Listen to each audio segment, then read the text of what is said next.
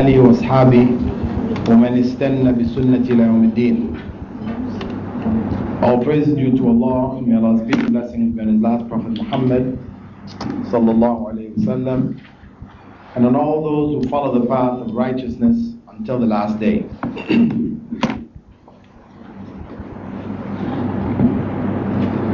the this session, inshallah, uh, what we'll be looking at is textual harmonization. That is, we have a number of different statements coming from Prophet Muhammad through a number of different sources. We looked at the issues of uh, authentication. Now, if we have confirmed, right, we have texts where hadiths appear to contradict each other. Now, what do we do in those circumstances? If we have determined, first thing we should determine that in fact we are dealing with authentic texts. Because if we have one which is authentic and one which is not authentic, then it's not the issue of contradiction here. You just get rid of the one which is not authentic. So the one authentic hadith is really the fact. So uh, the first step, of course, is to verify if we if contradicting hadiths are brought to us, is to verify that they are both authentic. There is a scholar by the name of At-Tahawi who wrote a book called Mushkil al-Athar or the problematic narrations. And this is what he did. He gathered uh, all of the hadiths which were apparently contradicting each other and gave explanations as to why, etc., etc. Clarifying what was the case, where it was a case of a weak hadith, or uh, it was a case of, you know, uh, general and specific, or whatever. He clarified or harmonized uh, the, uh, the the hadiths. Now, the basic principle uh, to be followed is that we try to unify the texts. That is, that we try to work with both texts rather than to cancel one and only work with the other. As a basic principle, the first step should be what is called jama', bringing the two texts together meaning to find a way of applying both without canceling one or the other. And what we uh, what we do, the process, once we combine the text, actually, this is. Uh,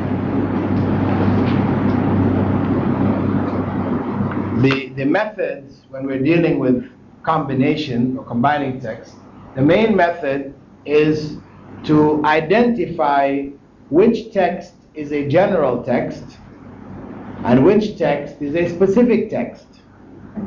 Meaning, one text makes a general ruling and the other one speaks about a specific circumstance. Once you're able to identify this, if you're able to identify this, then you're able to work with both texts at the same time.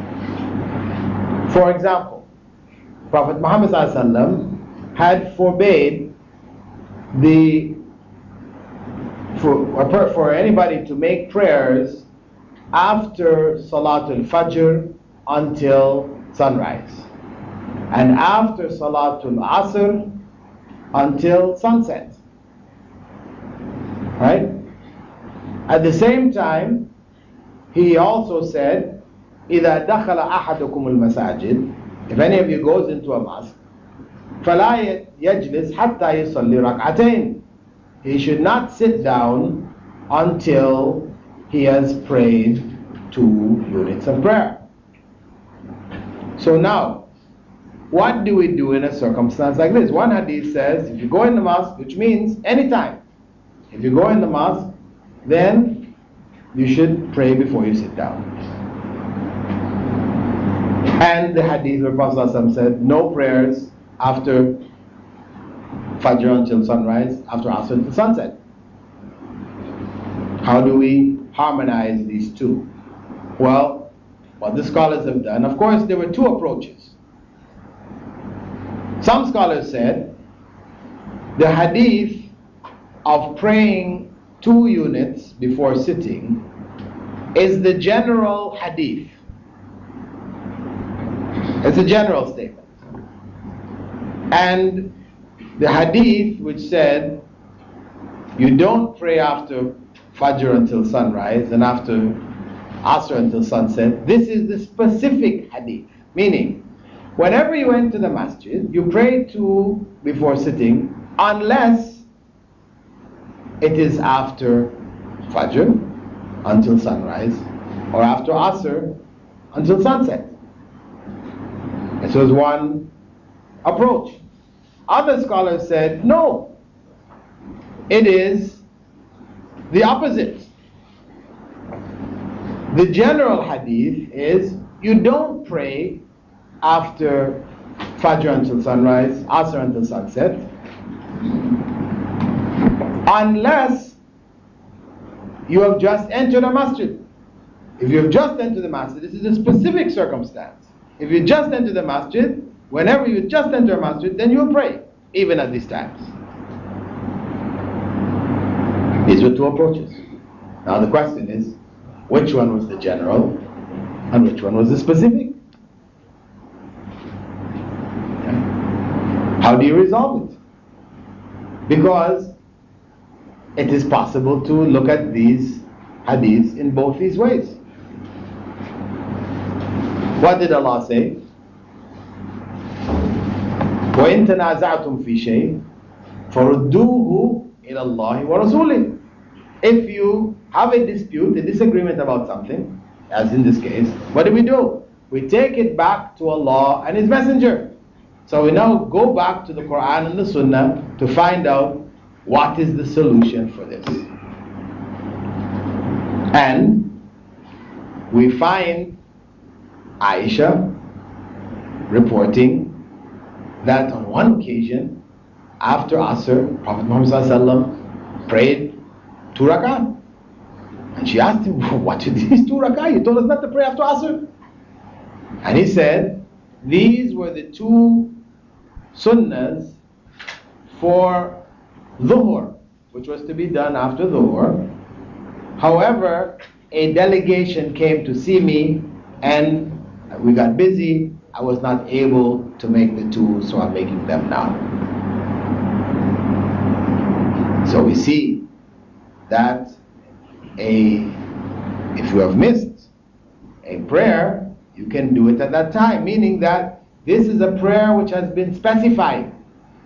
Not a compulsory prayer now, still recommended, but it has a specific instruction regarding it. It has been recommended. Such a prayer can be done then. Furthermore, there is an authentic narration that after Fajr, a man got up to pray. The Prophet ﷺ asked him, What are you doing? And he said, These were the two sunnahs of Fajr which I missed. And he let him go ahead. Again, confirmation that where there was a specific purpose or specific instruction with regards to those prayers, these prayers may be prayed even with, after uh, Fajr and after Asr. This was the confirmation, this was the support. So the Sunnah then goes and clarifies for us, you know, which one is the general and which one is the specific. Now there's another hadith in which Prophet had forbidden prayer at the time of the rising of the sun and at the time of the setting of the sun and when the sun is in the middle of the sky or in the middle of its movement through the sky. These times. Now the Sahaba said, Prophet ﷺ forbade us from prayer at these times and he even forbade us from burying our dead at these times. So now, what if we come in for prayer to the masjid and it's the time of the rising or the setting of the sun or it's in the median? What do we do? Do we take this again to be a general statement and we still apply our two rak'ah? No. We don't in this case. Because the companions clarified that they were not even permitted to bury the dead at that time. It means this is a, this is a major prohibition. Not like the other one. This was a major prohibition that we should not do so. Therefore, to begin a prayer at that time, at the time of the setting, is not permissible. Not permissible.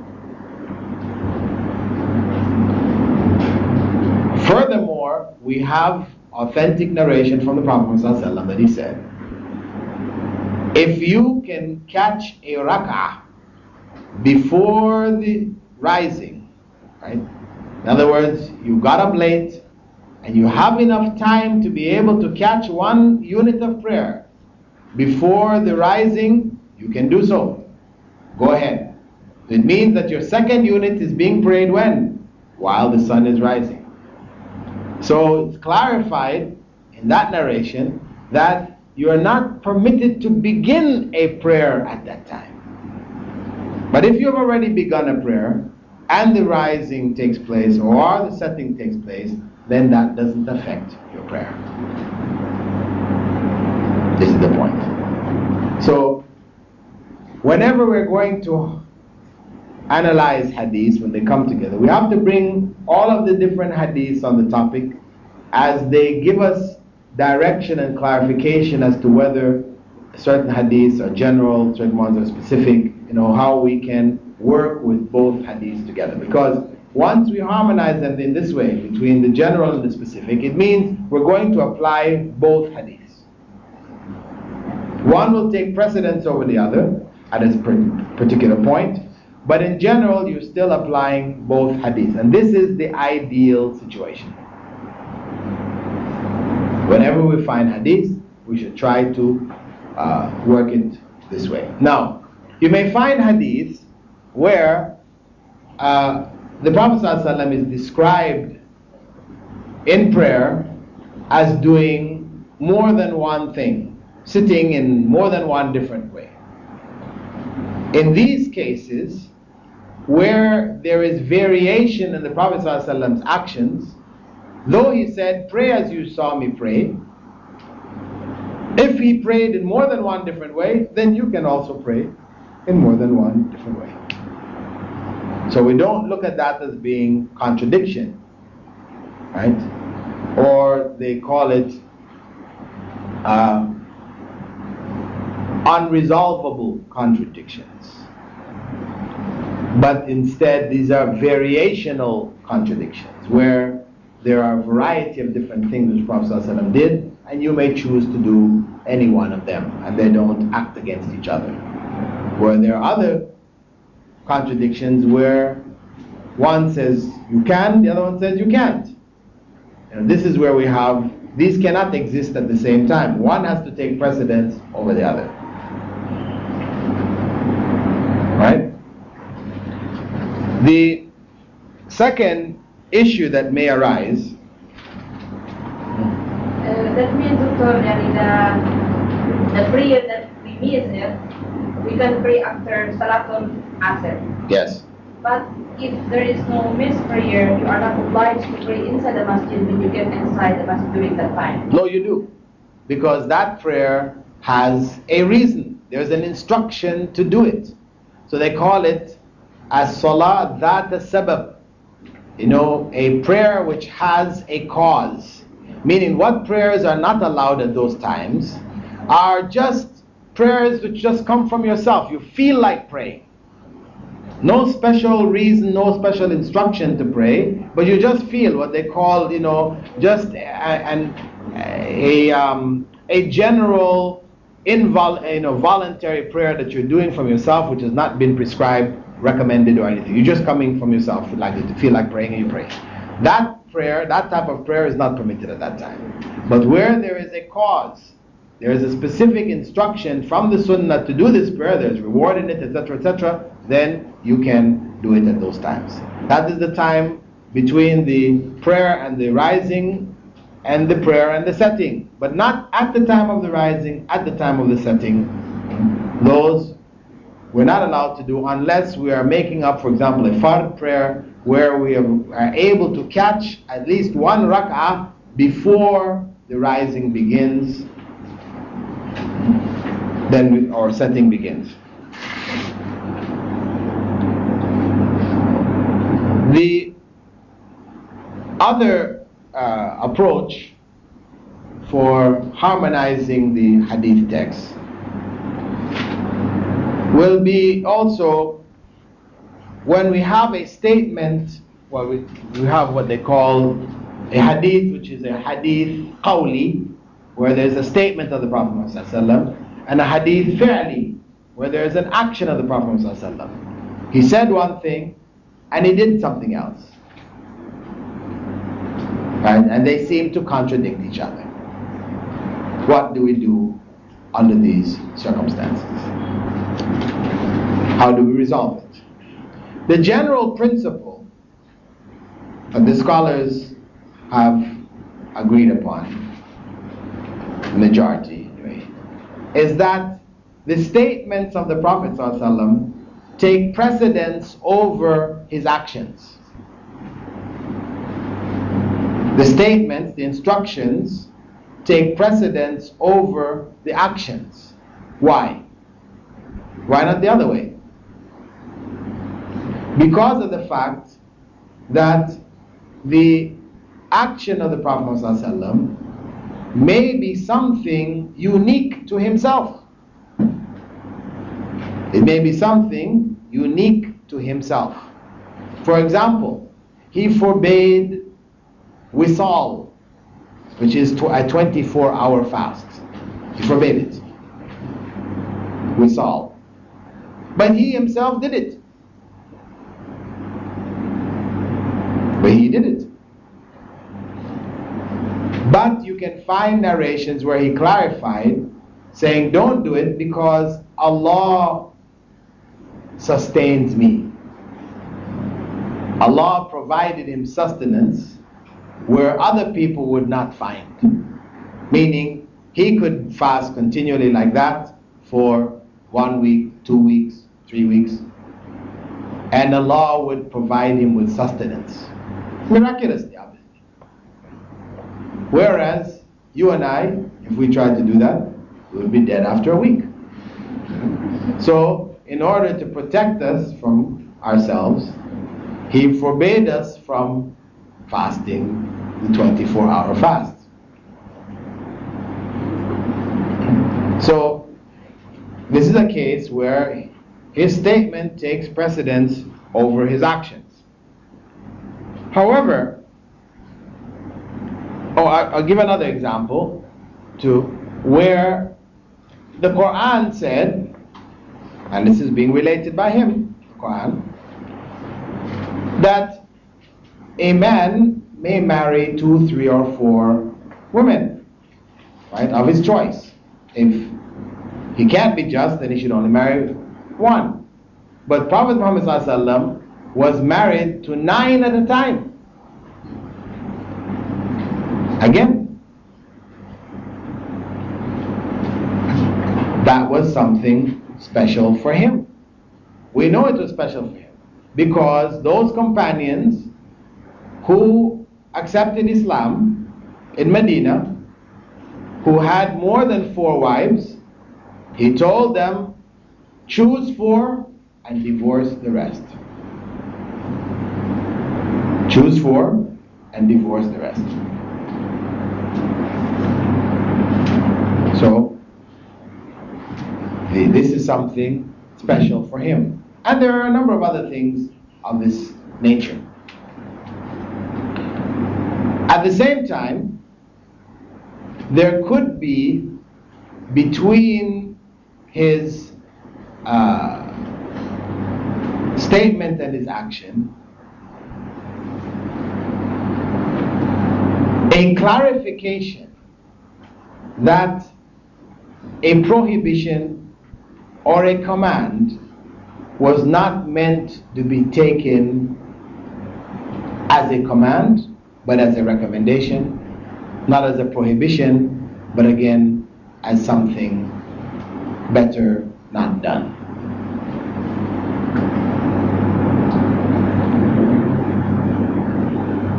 Uh, where Prophet you know, commanded certain things and he forbade certain things.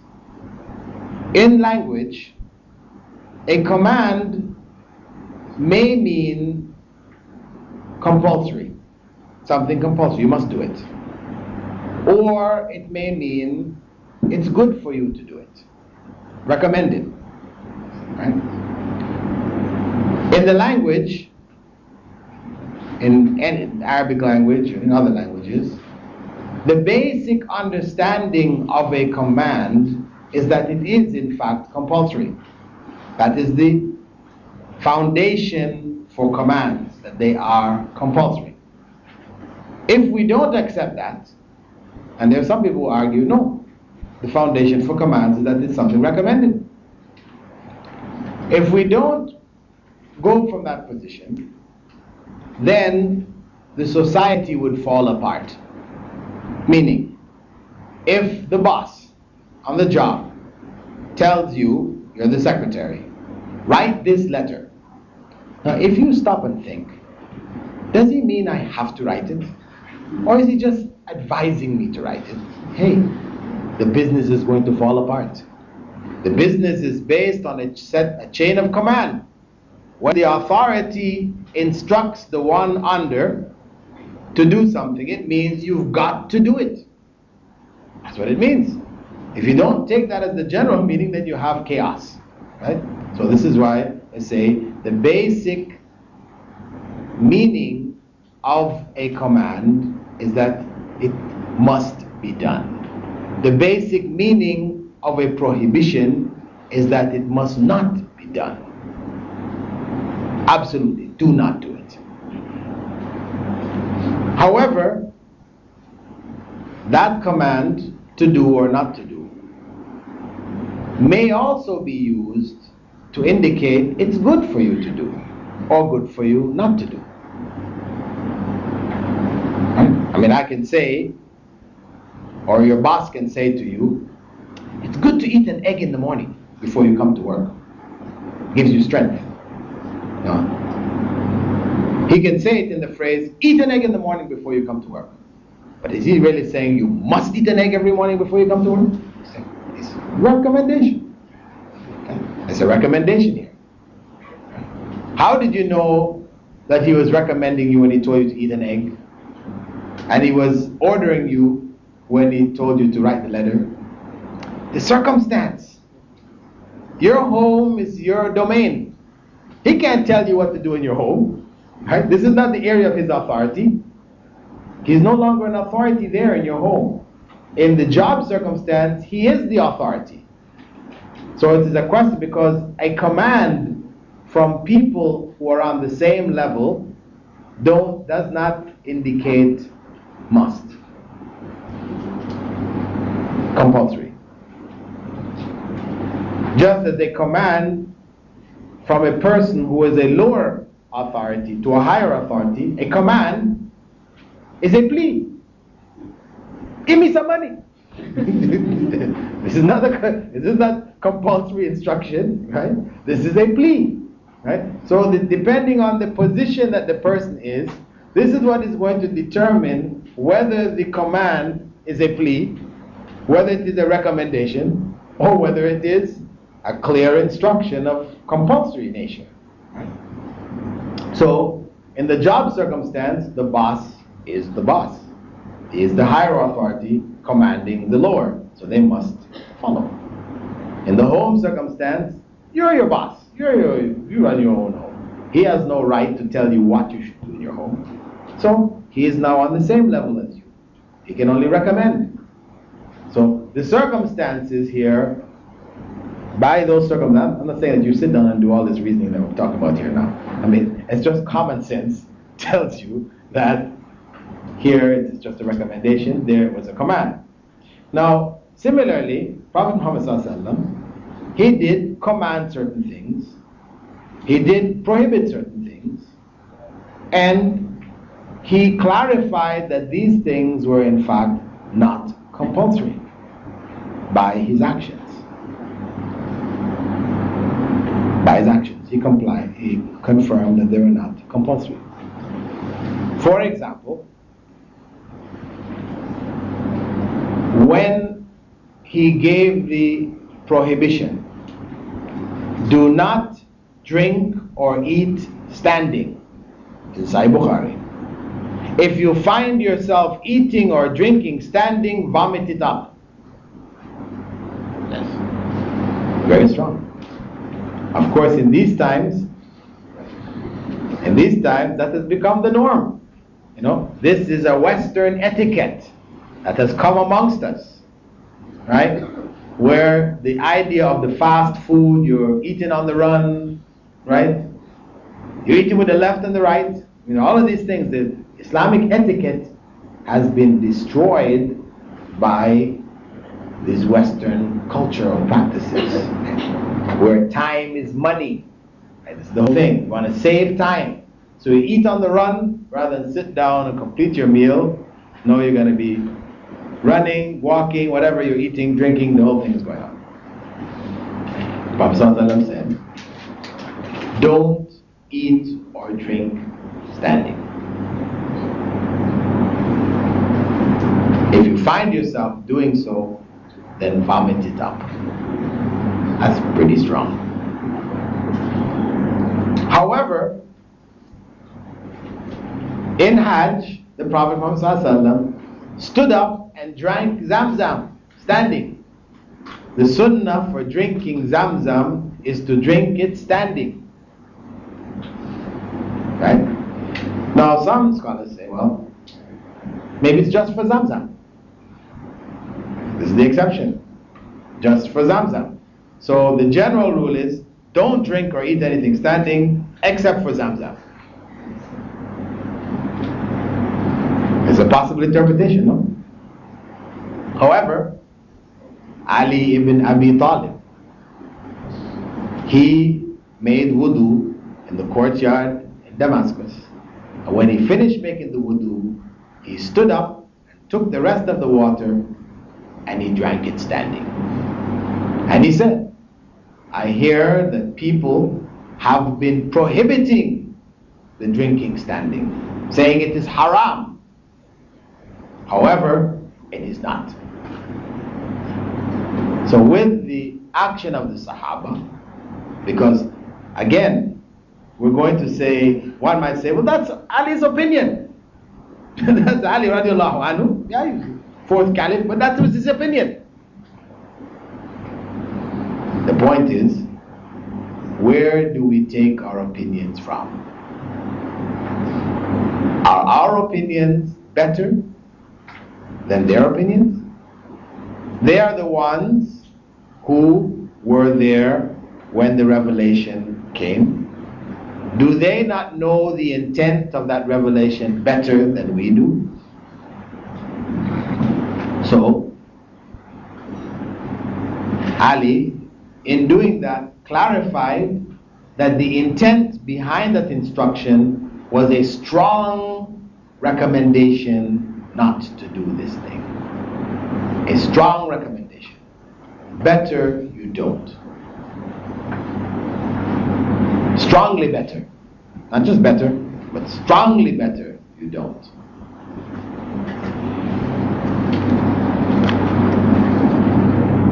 We also find uh, another practice of the Prophet Muhammad in which he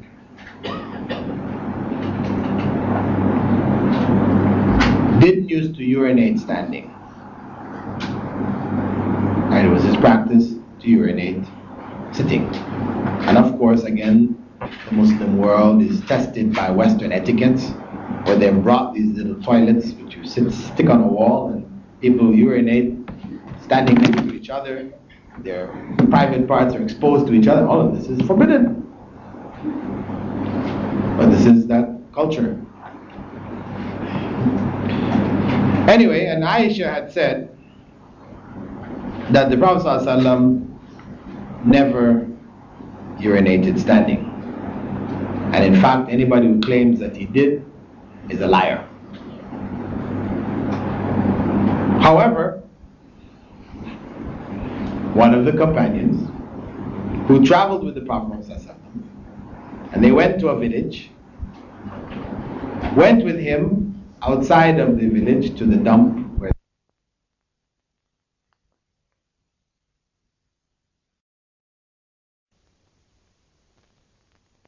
companions who traveled with the Prophet and they went to a village, went with him outside of the village to the dump where the people dump their refuse, and he stood up and urinated standing there. Now Aisha related what she knew. And what she knew, it was not permissible. Never did it. She was so strong about it, she said, whoever says it's a liar. But she wasn't with him 24 hours a day. And it's possible that another companion could have been with him and observed himself.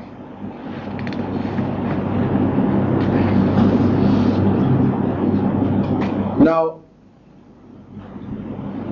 the next step is one of tarjih. That was what I rubbed off the board.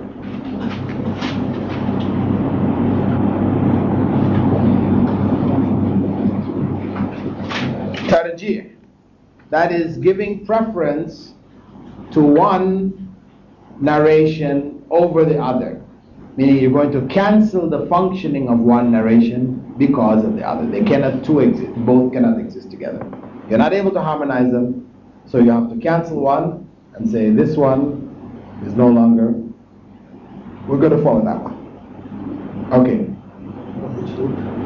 Huh? We're gonna. I'm talking about now.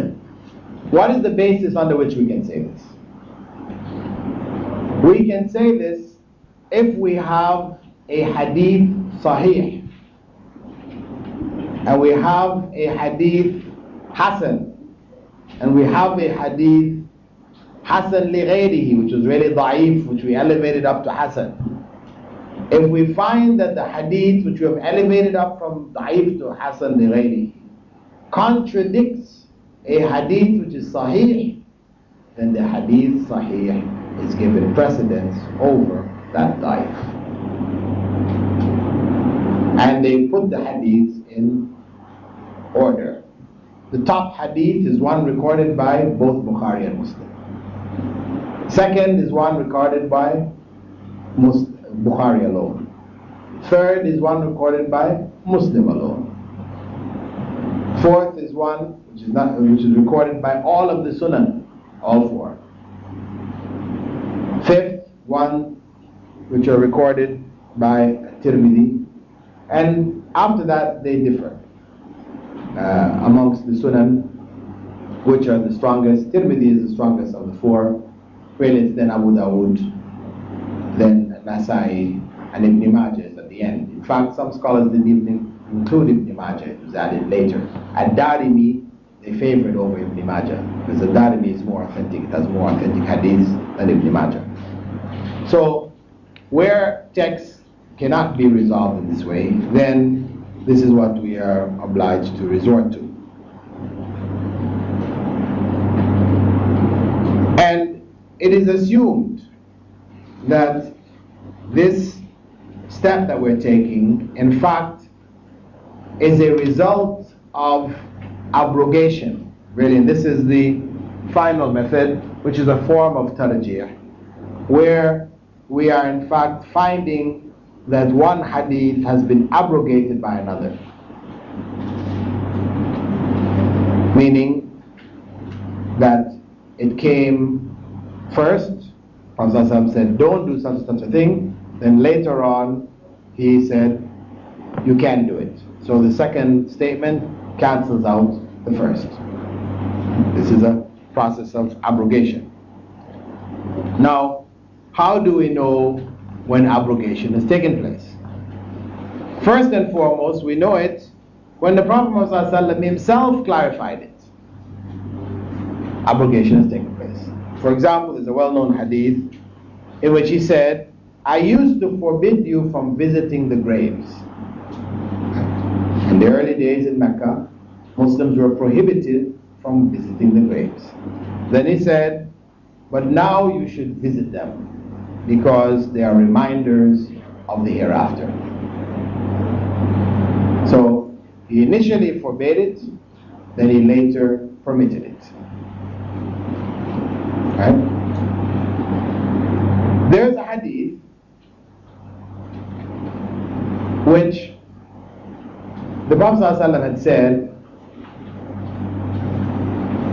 Whoever eats camel's meat should make wudu. Whoever eats camel's meat should make wudu. Some people said it was abrogated. They said it was abrogated. That was in the early days, in the beginning. But when they are asked to produce the evidence of its abrogation, they can't find anything. There's no hadith which indicates that. Some said there's another hadith where Prophet ﷺ said, when instructed, that if you eat anything which has been touched by fire, you need to make wudu. Hadith, he said, if you eat anything which has been touched by fire, in other words, been cooked. If you eat any cooked food, you need to make wudu. Cooked actually is cooked meat. You need to make wudu. So they said, and that hadith we know was abrogated because uh, if we have a statement from the Sahaba concerning, and there's a statement with Prophet uh, where Sahaba had said that the last of the instructions concerning foods touched by fire is that it was permissible to eat without making wudu. So one of the ways we can know that abrogation has taken place is by the statement of a Sahabi. The statement of the Sahabi clarifies that abrogation has taken place. It was an initial instruction, So they said, we know this is an abrogated command. That the one for the eating of the camel's meat was when eating things touched by fire was prohibited. You had to make wudu. So that was when that instruction was given. But actually, it's not logical. Because if the Prophet ﷺ had already said, anything touch, any meat touched by the fire, if you eat it, you have to make wudu, what was the need to say camel? It's already included. So it's not logical to claim that it was a part of that instruction. So, having not found any evidence to support it, then a story was fabricated, which you will hear some people teaching, quote, as if it is true. They said, Prophet Muhammad was sitting with his companions, and one of them passed wind, and he had just eaten some camel's meat. And he didn't want to embarrass him by singling him out and say, You go make wudu. So he said, Whoever eats camel's meat must make wudu.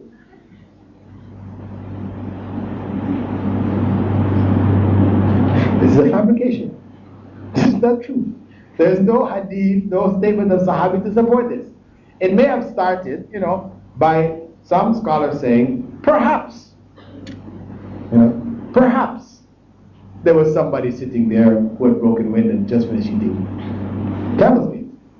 From perhaps it became a story, which was narrated along with the hadith to justify and explain why it is okay to eat camel's meat and not make. But the fact of the matter is, there is no evidence to indicate abrogation. Therefore, the correct position is that if you eat camel's meat, then you must make wudu before praying.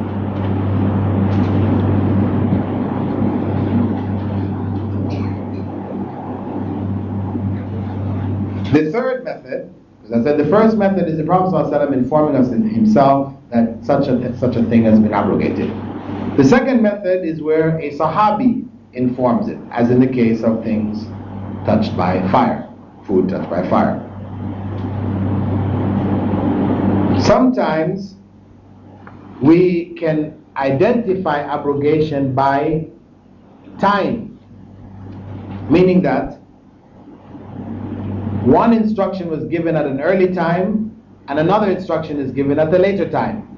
So we know because there's a time gap that the later one will abrogate the earlier one if they're contradictory.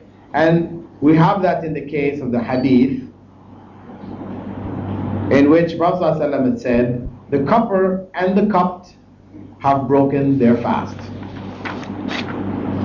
The cupper and the cupped have broken their fast. What is a cupper? The one that transfers the blood. Extracts blood. Yeah. Okay. Cupping is a practice of bloodletting. Bloodletting, right? In some societies, they get leeches to do the job. Right? They get a leech, grow them, big ones, and then they put it on you, suck the blood until it gets full and it drops off, and then the job is done that way. Right? It was the practice, no leeches around in Arabia. So the practice in Arabia was that they would place a cup-like instrument on some part of the body, right? and they would remove the air from inside of it. There are different ways. Some of them uh, burnt uh, some material which uses up the air, so it creates a vacuum. Some of them by sucking on it until, and some would aid the process by using a razor, something sharp, and making little cuts in the skin just to break the surface of the skin so the blood can come out more easily. When it's full, then they take away these cups. Anyway, initially Prophet ﷺ had said that the cupper and the cupped have broken their fast. Both the one who had it done and the one who did it broke their fast.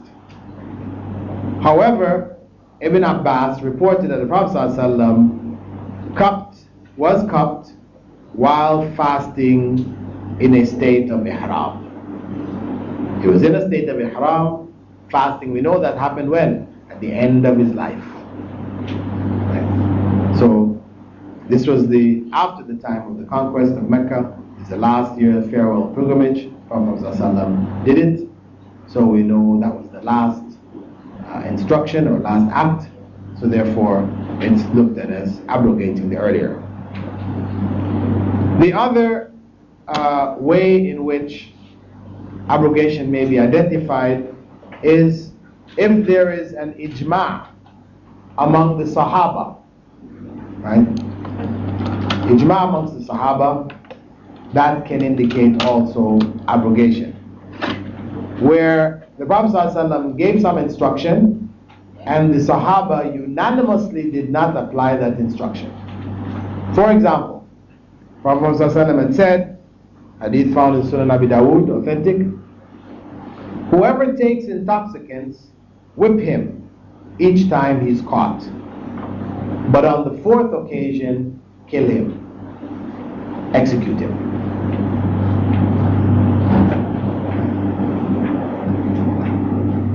That was not applied by the Sahaba.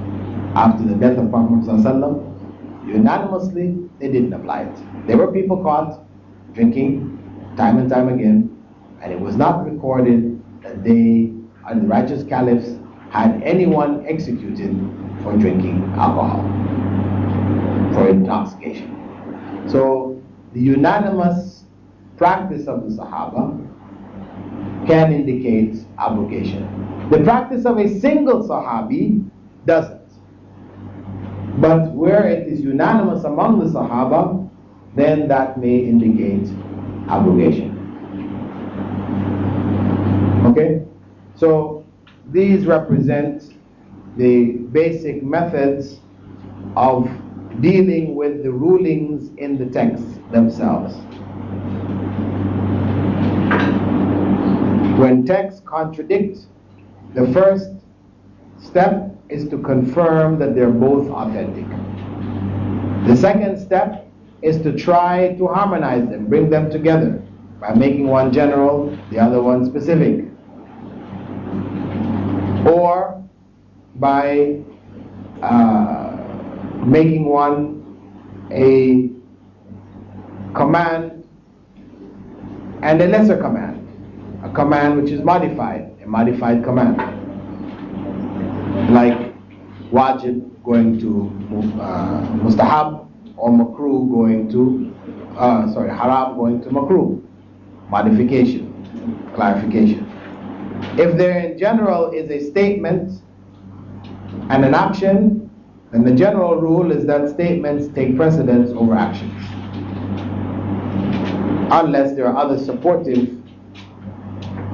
factors, explanations of the Sahaba, etc., etc., which clarify the intent. If none of this is possible, then we go to tarjih, that is, giving precedence to one hadith over another based on the strength of the hadith itself, the strength of its chain of narration. Those which are most authentic take precedence over those who are less authentic. And then the last step we have is abrogation, where we try to find evidence indicating that the ruling of a particular hadith has been cancelled. Okay? Inshallah. Uh, tomorrow we will deal with the process of authentication and we'll also deal with the hadith ahad. And this is a very important topic, hadith ahad, where people say commonly that you cannot use hadith ahad in Aqidah. We'll look into why they will say that a hadith which may be authentic, fully authentic, however, it is classified as ahad, and they say we can use it in our laws, in laws of economics or whatever other kind of laws, but we cannot use it in issues or to establish points of aqidah. Okay, we'll just go on over now to the questions. We have a bunch of questions here, some left over from yesterday. And inshallah, inshallah, we uh, will try at least in the last session to finish off all of your questions. Having done wudu, suppose one is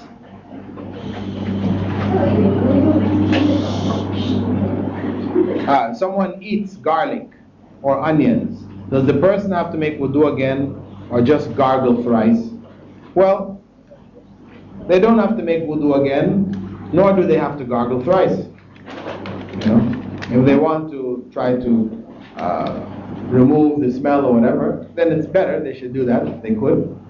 Otherwise, as the Prophet ﷺ said, if you eat raw garlic and onions, pray at home. Don't go to the masjid.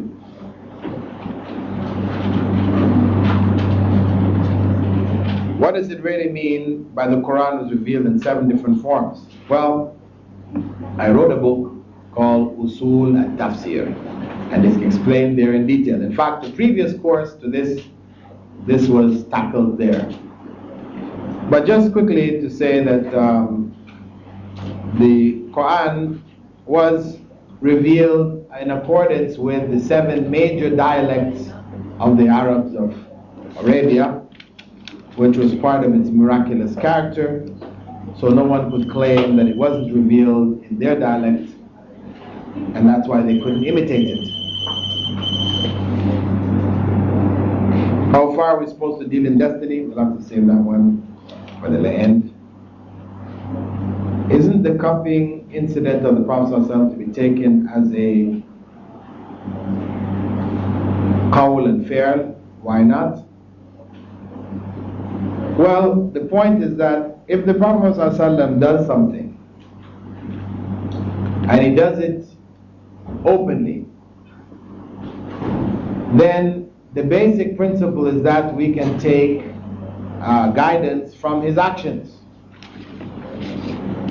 Where it is something which could be special to himself, then there will be some kind of supportive statement or explanation of the Sahaba, whatever, to clarify that it is unique to himself.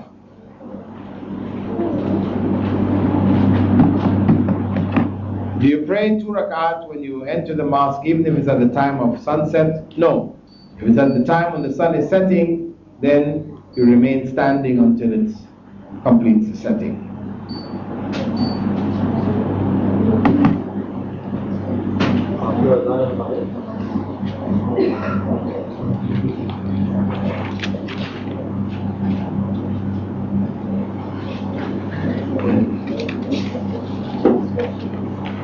Different scholars give different religious verdicts and proofs to support their ideas or their views. We as laymen are unable to differentiate between the two views as to what is correct, and correct verdict. For example, there are scholars who say that a woman shouldn't offer prayer with her hair tied in a bun. Because uh, all to them it gives the form the hump of a camel. Well, actually, there is a hadith where the Prophet ﷺ said, If you're praying and your hair is braided, tied up, then undo the braids and allow your prayer, you're here to prostrate along with you. However, this hadith is specific for men. It is specific for men. You said that when it's generally said it's for all sexes unless Yeah, right. So Yeah, there's a general principle here. We said before that whenever hadith, when the Prophet ﷺ said something, that we take it to be for both men and women. Why are we going to say this is specific now for men and not women? Why? Because women are obliged to wear khimar, which stops their hair from prostrating along with them. So, it's clear the hadith is specific for men. Now, the issue of the hump on the camel, right? If their hair is in a bun at the back of their head, I mean, this is not resembling the hump of a camel. What it's talking about is the hair which is piled up on top, which becomes, you know, uh, sticking up. This is something which is talked about by the Prophet ﷺ in the in the times to come that the women will have their hair like this, you know. What was known as a hairstyle called the beehive, you know, way back in the 60s or whatever, you know. That is a, not an acceptable hairstyle for Muslim women. Otherwise, just tying your hair in the back of your head, there's nothing wrong with it. A woman should cover her head while eating. I do not remember the reason they gave. There is no evidence for this. A woman should go to her husband whenever he calls, regardless if she is, uh, whether she is fixed, I don't know, a reason given, otherwise the angel will curse her. This is true. This is a clear instruction from the Prophet. Even if she's at the oven, her husband calls her, she should uh, comply. Oh, I mean, is that uh, about on the? Uh, how we've done a detail to even. I don't know about the camel. I just said at the. Yeah. On listening to a tape to help me with this class, I came across the following points that were not included in my notes. Perhaps I missed them. Please confirm the accuracy. Mursal hadith is the strongest type of weak hadith. but cannot be used as evidence alone. Well, it depends on whose mursal it is. Right? The mursal of the Sahaba, we said, is considered sahih. The mursal of the tabi'een, if it is a mursal from a tabi'i who uh, was known only to narrate from the Sahaba, like Sa'id ibn al-Musayyib, then it is accepted also as authentic. However, if it is not among those, then yes, that would be stronger as supportive evidence, a weak hadith, but supportive evidence, because the sahab, the tabi'in, if they are among the major tabi'in, known reliable scholars, then their mursal hadith will be considered stronger than other hadiths which are weak due to breaks in their chain, etc. For a hadith to be mu'allaq, the shaykh or, or the author and or more than him must be missing. That is the shaykh of Imam Bukhari. Yes, this is the mu'allaq hadith. It does not must be missing, but chunks from the uh, the uh, narration have been dropped, leaving only the sahabi at the end or just one before the sahabi, something like this. For a hadith to be mu'adal, the two people missing from the chain must be consecutive. Yeah, two together. That's correct. Therefore, if the sheikh or the author and the next person in the sanad is missing, this will be called mu'allaq mu'adal hadith. Well, every mu'allaq hadith is mu'adal, but not every mu'adal hadith is mu'allaq. In the tape, the Sheikh also made a distinction between da'if and da'if jiddan. Please explain the implication for a simple example. He said, if an obscure person has only one known student, the hadith is classified as da'if. But if he has two or more students, then the hadith is da'if jiddan. That seems to be the opposite, I would say. Uh, the issue of da'if jiddan, I mean, this is a value judgment. There could be a number of different factors why a scholar may say da'if jiddan, because there may be breaks in the chain, as well as weak narrators. This tells you da'if jiddan. You know. And this may vary from scholar to scholar as to why he said da'if jiddan. He also said that for a hadith to be classified as hasan, the four conditions of continuity of chain, adala, not shadh, la illa must be met. The only difference between Sahih Hadith and Hasan is with doubt that the narrator may have made that mistake. That's correct.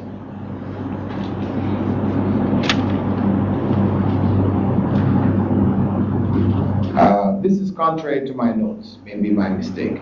He also mentions that, the, that with regards to Adala, a narrator who lies with regards to worldly affairs, his hadith are also classified as weak. Well, I didn't make any distinction between worldly affairs or uh, hadith. You know, if he's a liar, a known liar, then he's weak. Whether it's about worldly affairs, if he was known to be a liar, he's known to have lied. They didn't specify that it is specifically in regards to hadith, meaning if he lies about other things, he's okay, but if he lies, does, if, you know, we'll accept him for hadith. No. The term musnad also was mentioned several times as having two meanings, being a collection of hadith categorized by the companions narrating it. Please clarify the second meaning.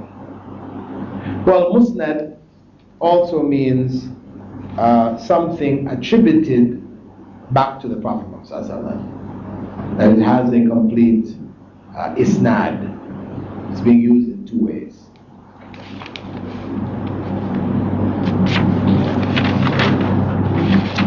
If a statement of a Sahabi can cancel a hadith, then what is the explanation for statements of Ibn Abbas in which when he was asked about women covering the face, he covered the whole face except one eye? This is not authentic. That's the explanation.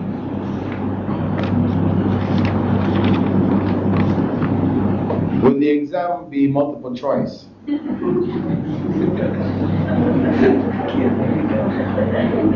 or question and answer type?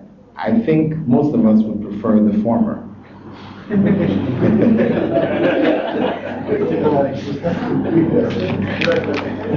yeah, I prefer the former too. It's easier to mark.